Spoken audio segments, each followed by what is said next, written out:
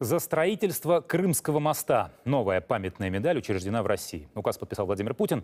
Награду вручат гражданам нашей страны, а также иностранцам, которые внесли свой вклад в этот грандиозный проект. Кроме того, будут награждать организации за инженерные расчеты, создание архитектурного проекта, строительные работы. На лицевой стороне медали, конечно, изображение Крымского моста.